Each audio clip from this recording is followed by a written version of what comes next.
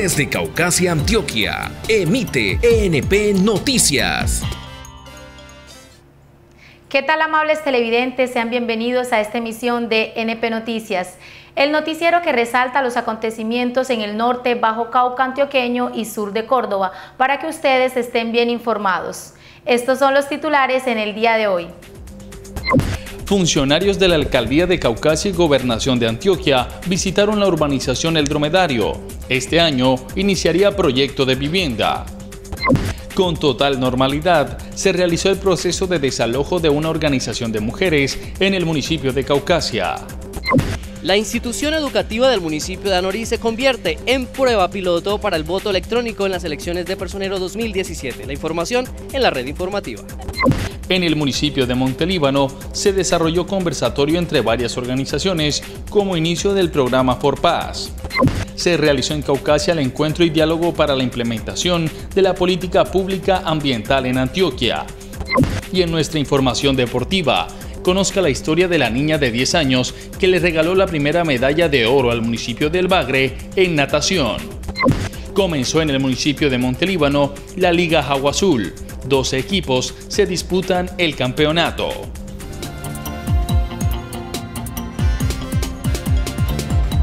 Desde Caucasia, Antioquia, emite ENP Noticias. Abrimos esta emisión contándoles que funcionarios de la Alcaldía de Caucasia y Gobernación de Antioquia visitaron la urbanización El Dromedario. Allí socializaron con la comunidad y principalmente con el gremio de mototaxistas el proyecto que busca la construcción de 29 viviendas para el mejoramiento de la calidad de vida de estas personas. Con optimismo recibieron los habitantes de la urbanización El Dromedario la visita del alcalde municipal y un funcionario de la empresa Antioquia Viva de la Gobernación, quienes socializaron ante los asistentes la estrategia con la que se busca mejorar las condiciones de vida de 29 familias, quienes esperan ver cumplido el sueño de tener una vivienda propia y digna. Nueve familias inicialmente que ya tienen adjudicado un lote en el municipio de Caucasia que hoy están viviendo en condiciones de miseria y que están a la espera del apoyo de la gobernación de Antioquia. Decirles que por parte del señor gobernador de Antioquia el apoyo está, es un compromiso que asumió el señor gobernador, que asumimos como gerente de la empresa de vivienda de Antioquia Viva y que hoy le estamos diciendo a la gente que vinimos a cumplir, que queremos iniciar. En la conversación con los habitantes también se asumieron una serie de compromisos de los cuales estas personas esperan que se cumplan y se ejecuten a la mayor brevedad para el mejoramiento de su calidad de vida. Y es que vamos a arrancar con 100 cocinas dentro del programa de mejoramiento de vivienda urbana. Pues vamos a arrancar mejorándole la calidad de vida a 100 familias del municipio. Esto se inicia con una convocatoria que hace la alcaldía municipal. Luego de identificar estas 100 familias, la empresa de vivienda de Antioquia se compromete con entregar estas 100 cocinas eh, enchapadas, organizadas, bonitas. Por su parte, los beneficiarios, en su mayoría pertenecientes al gremio de mototaxistas, taxistas ven con buenos ojos este proyecto y esperan que antes de que termine el año 2017 puedan tener su vivienda propia y dejar de pagar arriendo. Somos un gremio que no contamos, digamos, con los recursos para eh, construir una vivienda. Entonces, por ese hecho nosotros hemos hecho la gestión y bueno, gracias a Dios en estos momentos eh, creemos pues que ese sueño se nos va a hacer realidad. Estas personas que por mucho tiempo han vivido en condiciones de vulnerabilidad esperan que se realice un adecuado y estricto proceso de selección de los beneficiarios y que las viviendas no vayan a ser entregadas a quienes no las necesiten. Que averigüen bien y investiguen bien las personas que verdaderamente lo necesiten. Porque sí, así como le dice, hay muchas personas a veces que, se, que hay 50 o 100 que necesitan, hay de pronto días que se meten que no necesitan Conforme a una orden judicial, la Asociación de Mujeres Municipales de Caucasia, Asomuca, hizo entrega de un inmueble que tenía en comodato. Afortunadamente, en la diligencia de desalojo no se presentaron desmanes, a pesar de la polémica que existe sobre la decisión. La Asociación de Mujeres de Caucasia deberá desalojar el predio donde se encontraba ubicada un espacio de 15 metros de largo con 10 de ancho, del que disfrutaba desde el año 1999, cuando le fue entregado en comodato por cuatro meses. Ahora deberá devolvérselo al Ministerio de Transporte, entidad propietaria del terreno.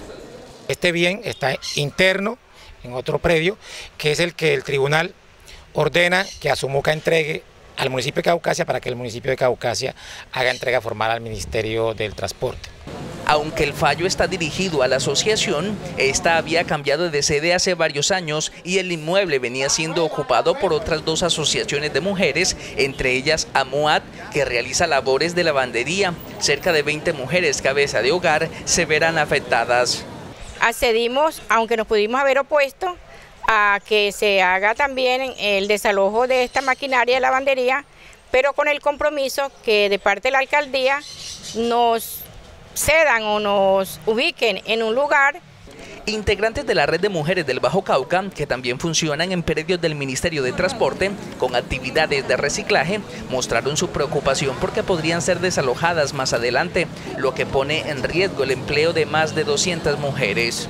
Lo que necesitamos es que todos nos unamos para resolver esta situación. El desalojo que realizó la alcaldía de Caucasia transcurrió pacíficamente.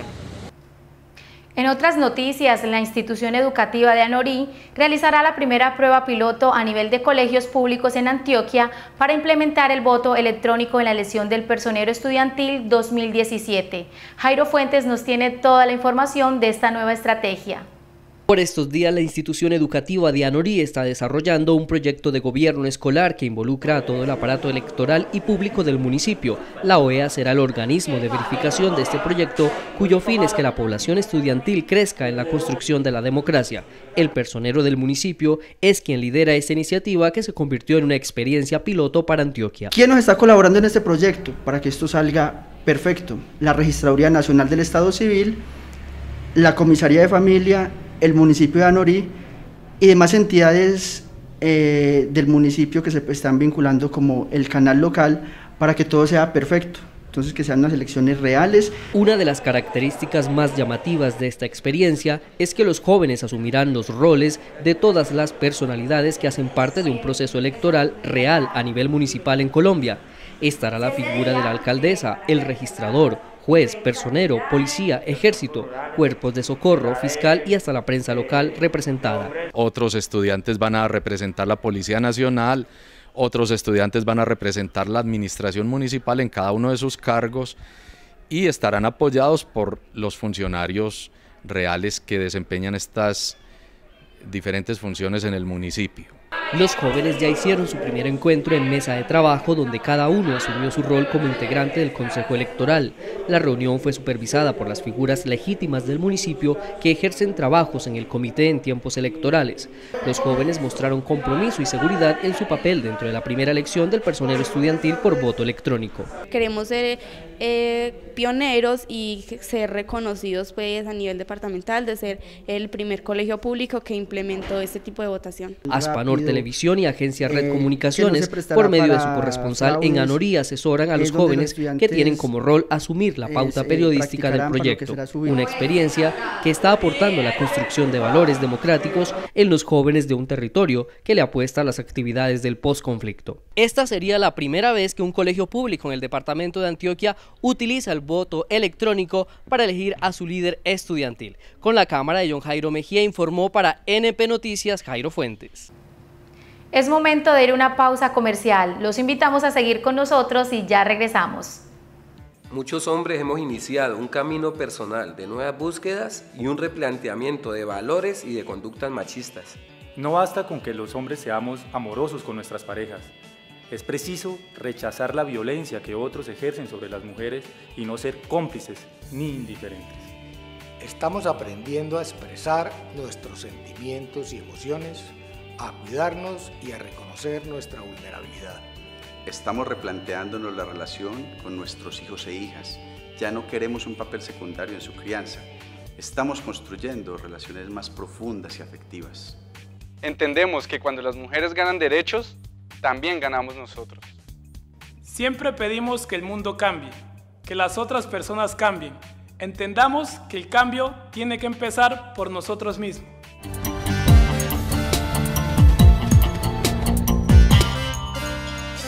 En el municipio de Montelíbano se adelantan conversaciones para la implementación del programa For Paz, una iniciativa que busca promover la sana convivencia y que sería ejecutada por la agencia alemana GIZ en la región Nudo de Paramillo. Diferentes organizaciones constructoras de paz de municipios como Puerto Libertador y Montelíbano hicieron presencia en este conversatorio donde gracias a la mediación de Cordupaz se logró acercamientos con la agencia de cooperación alemana GIZ. Este reconocimiento del territorio se debe a la implementación del programa For Paz que se estará ejecutando en seis regiones del país. La inquietud es eh, cuál es el aporte y si queremos hablar de reconciliación y construcción de paz, lo primero es venir a reconocer cuáles son los logros, cuáles han sido esas cosechas de vida que las comunidades, los municipios, las regiones, en medio de toda esta guerra han logrado construir y mantener. Y yo creo que es motivo muy grande de esperanza decir, eh, mire, estas realidades son distintas porque hemos logrado cambiar y mejorar en medio de circunstancias adversas. Uno de los territorios seleccionados donde se desarrollará el programa de fortalecimiento y capacidades para la construcción de la paz es el nudo de Paramillo, en el que ya fueron elegidos cinco municipios. Como motivación especial, la Agencia de Cooperación respeta el trabajo hecho por las organizaciones sociales que trabajan por la construcción de paz desde sus territorios. El objetivo del reconocimiento tiene que ver con saber cuáles son las organizaciones cuáles son las acciones de fortalecimiento que se requieran en, el territorio, pero especialmente las que hoy existen y nosotros podemos fortalecer y consolidar. Pensar en que la construcción de la paz no es desde a partir de eh, eh, un ejercicio que se viene haciendo hace un año y medio, sino más bien que hay muchas organizaciones que vienen haciendo acciones de construcción de paz desde hace 10 o 15 años y que nosotros es necesario reconocerlas para poder eh, cooperar de alguna manera. La administración municipal también se hizo presente a través de la gestora social y diferentes dependencias de la alcaldía, dejando por sentado su apoyo incondicional a la sociedad civil, procurando articular tareas y reunir esfuerzos que garanticen resultados en el proceso todos estamos como que en ese mismo tema porque queremos que cuando se desarrollen las tareas realmente encontremos una respuesta para nuestra comunidad y de que las agencias internacionales vean que hay mucha necesidad en nuestro municipio, que estamos desde acá invirtiendo mucho y que realmente necesitamos apoyo para poder lograr lo que se desea que es desarrollar en nuestro municipio tareas de emprendimiento, eh, generación de empleo. El proceso, que tiene una durabilidad de cuatro años, está en la fase de exploración y planificación que equivalen a los primeros seis meses del año en curso. En el municipio de Caucasia se realizó el encuentro territorial y diálogo para la formulación de la política pública de educación ambiental en Antioquia. El evento contó con la asistencia de los sectores públicos, privados y la comunidad en general. El evento hace parte del proceso de fortalecimiento de las políticas públicas ambientales en el departamento, el cual es apoyado por organizaciones como la Universidad Pontificia Bolivariana y Corantioquia, y liderado por el Comité Interinstitucional de Educación Ambiental en Antioquia. En este ejercicio se viene desarrollando en los 125 municipios de Antioquia, donde Corantioquia está a cargo de los 80 municipios de su jurisdicción, Allí también contamos con el apoyo de Cornare y el área metropolitana y universidades que hacen parte del fortalecimiento para este trabajo. Construir la política pública de educación ambiental de Antioquia posibilita reconocer y priorizar los problemas ambientales que están afectando al departamento. Los comités técnicos interinstitucionales de educación ambiental municipal cumplen un papel relevante en este proceso. Muy importante sobre todo porque abre un espacio de participación de todos los líderes eh, de diferentes ámbitos en el sentido de que tienen en cuenta personas de la parte educativa, del sector privado, del sector oficial, eh, todos tratando de formular propuestas encaminadas a la construcción de una política pública acá en el departamento de Antioquia referida específicamente a la parte de educación ambiental. La implementación de una política pública permite garantizar la participación y apropiación del proceso por parte de la comunidad. Además que se promueve la sostenibilidad en el tiempo y se dé la posibilidad de destinar recursos para su implementación. Sí, en este momento están revisando eh, la situación ambiental de la subregión, ¿cierto? Donde esta situación se compone del patrimonio ambiental, ¿cierto? Todas las riquezas, eh, digamos, naturales, sociales y culturales que tiene la subregión, eh, también de problemáticas ambientales, de los actores, digamos, e instituciones que trabajan el tema educativo ambiental. Nos vamos nuevamente a una pausa comercial y en segundos regresamos con toda la información deportiva y la sección Región Positiva, solo aquí por NP Noticias, la red informativa. No nos gustan los gritos, empujones ni golpes. Nadie tiene derecho a maltratarnos. Más que príncipes azules, nosotras las niñas imaginamos un mundo lleno de muchos colores. También queremos estudiar y que en el colegio nos traten igual que a los niños y que a ellos también les toque dar plato. Sí, pues no entiendo que por ser niña nos toque hacer todo el aseo de la casa y atender a nuestros hermanos. Más que princesitas podemos ser aviadoras, montañistas, escritoras o científicas. Dan, dan, dero, dan, dan, ole, ole, sin, sin, sin, ole, ole.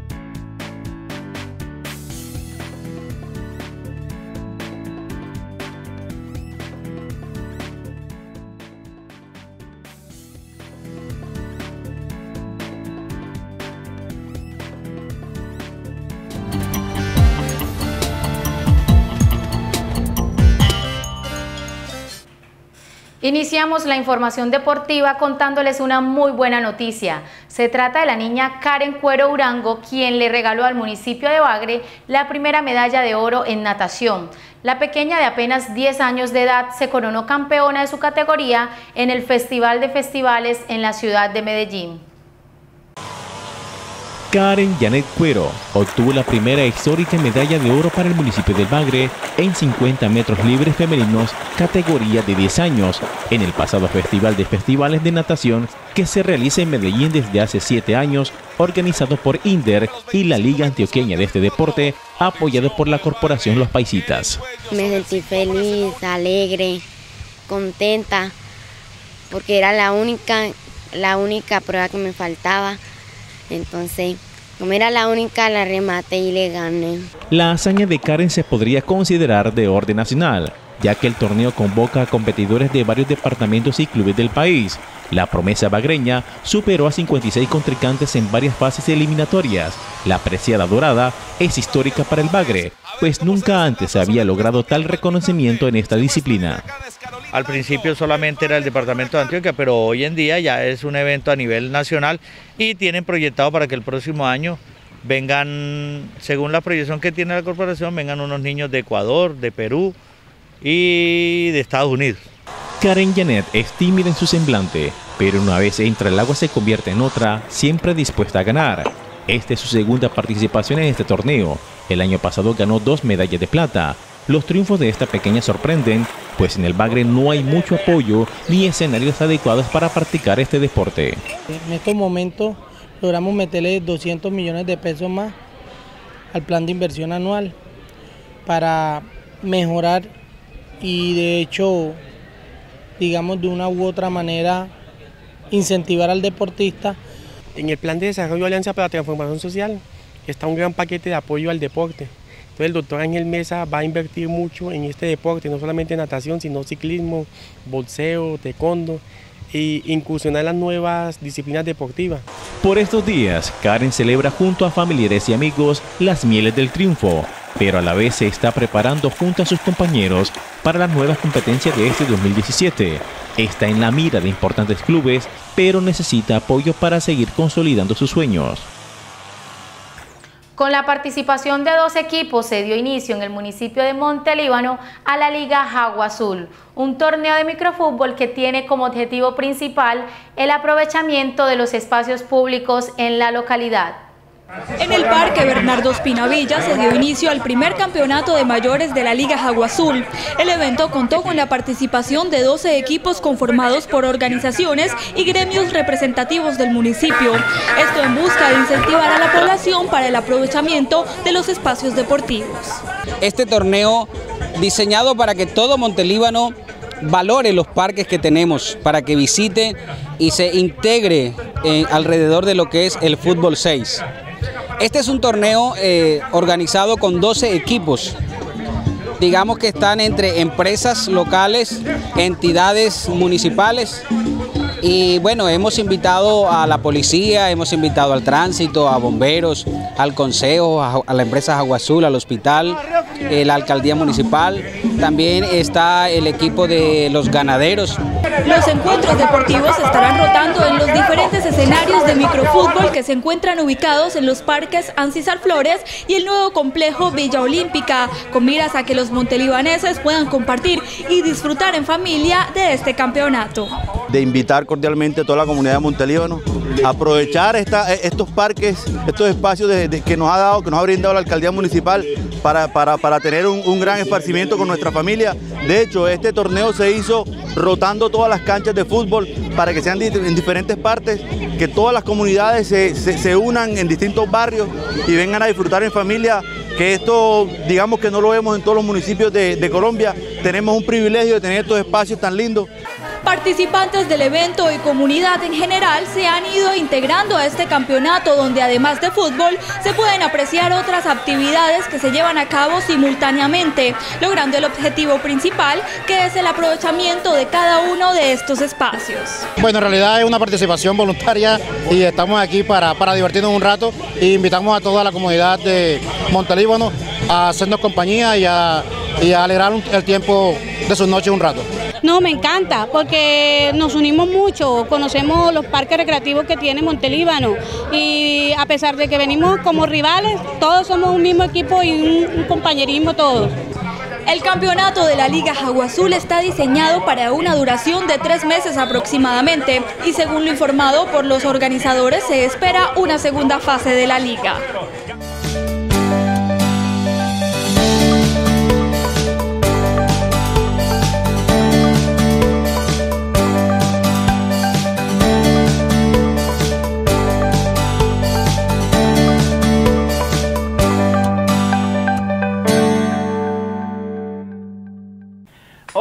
Bienvenidos a Región Positiva, el espacio donde les contamos las cosas buenas que pasan en la región del Nudo del Paramillo.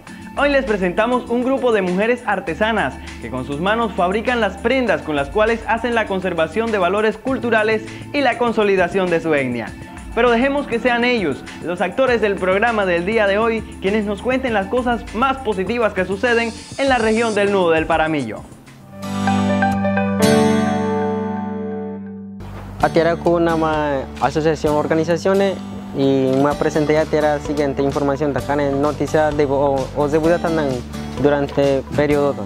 Y bajan ahí a de un debita japonesa como el nudo para mí yo digo oh borete jane o se data y jane todo borete importante ve manaba único ahí información bueno, en Veraneca es una asociación de mujeres artesanas en Veracatio del Alto Sinú.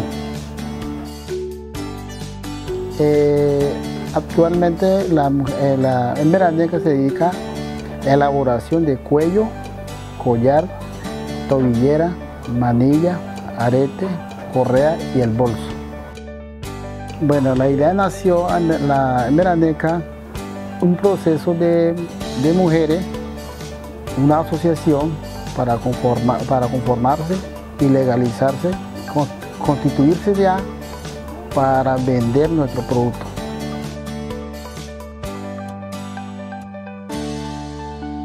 Bueno, tiene muy buena proyección, sus productos son de calidad, son, creo que tienen una calidad para llevar a nivel internacional. El proceso es bastante lento, pero se van a ver los resultados. Ya, es, es una etapa que ellos ahora mismo ha sido una iniciativa que empezamos desde el año pasado se empezaron a, capacitar. Empezamos por cromatología, se le dieron todos los indicios que iban a ser de contraste, de colores, de todo lo que podía lucir en una... Pues mi inspiración eh, inicial fue su joyería. Ya, empezamos por la joyería y de ahí pasamos ya al estudio de la prenda como tal, de los colores que ellos pueden trabajar en los diferentes, eh, las necesidades que tengan para el público. Me gusta en Veraneca porque aquí ya nosotros aprendemos a tejer, ya ahora vamos a hacer blusas, ya uno ya aprende muchas cosas. Entonces, negociamos, trabajamos, negociamos, salimos a vender. Pensamos hacer una empresa para, para, para sostener nuestro, nuestras mismas mujeres.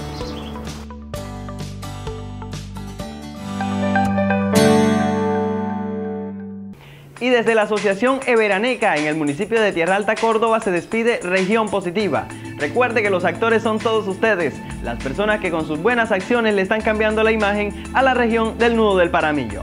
Mi nombre es Cristian Cruz y nos vemos en una próxima emisión.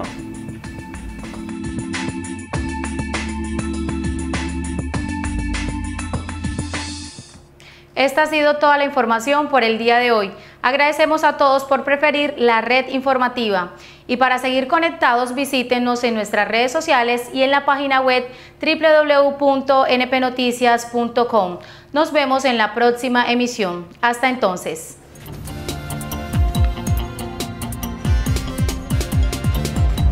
Desde Caucasia, Antioquia, emite ENP Noticias.